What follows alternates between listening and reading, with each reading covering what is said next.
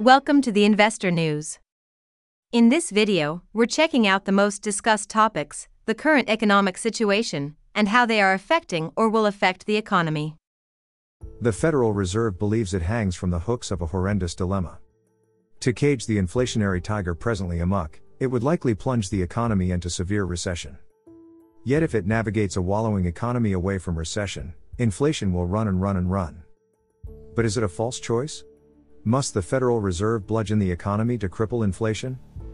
Consider, it believes it must strangle off excess demand in the economy. It is this excess demand that keeps inflation a going concern. The Keynesian prayer book from which most economists read says it. High Priest Paul Krugman, drawing on the Book of Demand.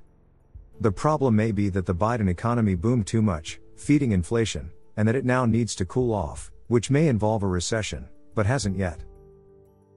Archbishop Larry Summers intones.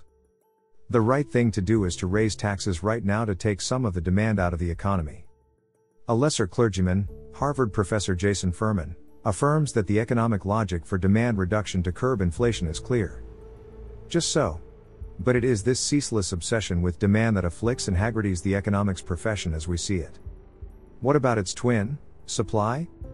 The economics profession has forgotten its Say's law, that supply creates its own demand. Products are paid for with products, argued Jean Baptiste Say over two centuries ago. Consider this one example. One man produces bread. Another produces shoes. The cobbler who requires bread for his dinner appears before the baker. And the baker who must clad his feet appears before the cobbler. They may transact in money, it is true. Yet money merely throws an illusory veil across their transactions. Ultimately, the baker purchases his shoes with the bread he has baked. And the cobbler purchases his bread with the shoes he has cobbled.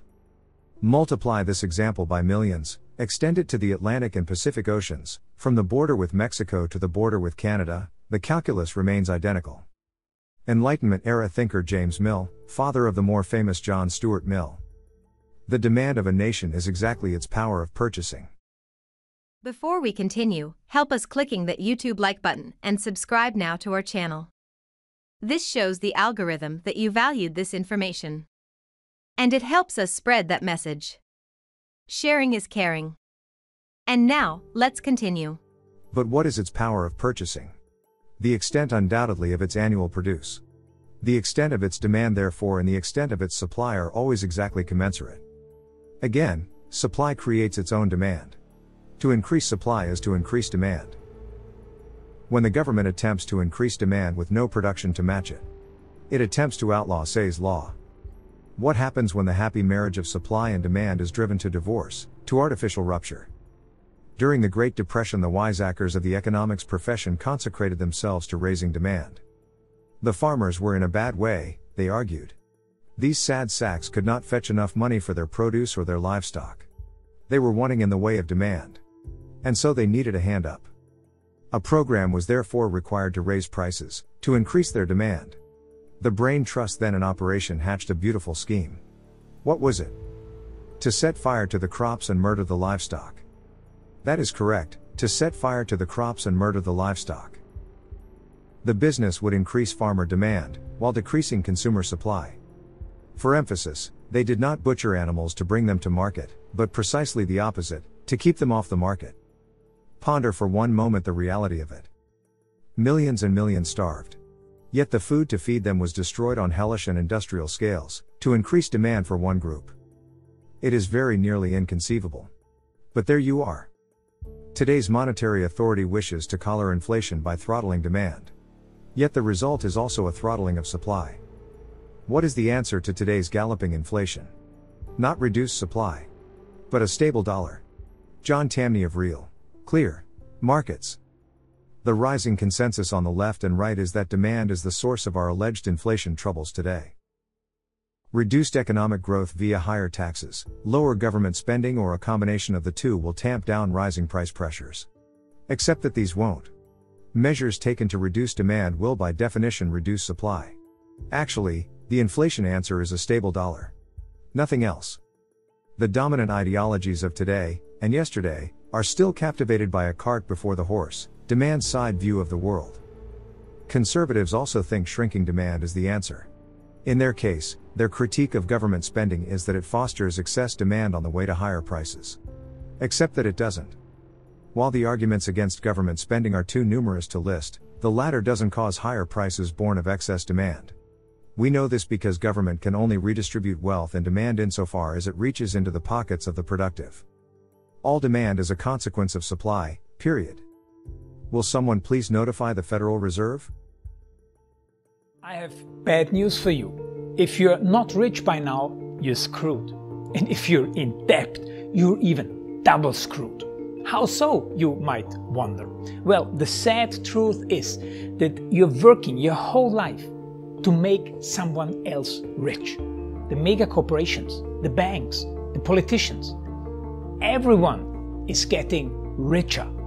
They get your money. And what is even worse, they get your time, they get your life. You are not even in a rat race, you're in a financial prison. But what could a solution for you look like? Honestly, I don't know, but I know what a solution for me would look like. It's very simple. I use whatever money I have and I multiplied with 1000. This could make my life much easier and probably yours as well. If you have $1000 available and multiply this with 1000, I believe that this could solve some financial issue for the one or the other. Of course, if you're ugly, you would have to multiply it with much more than 1000. My name is Marco Stan, and this is what I decided to do. I decided to 1000x my money. This is not a joke. I know what you may be thinking. You what, what, what is this guy talking about? You, how should this work? This is not possible. Well, I made a detailed video where I laid out my plan. And some clever folks might even want to look at this plan and copy it and do exactly what I do. This is just a little hint on the side. You have two options. You leave, you forget what you have seen. You do whatever you're doing and you hope that somehow you get some other results. Good luck with that.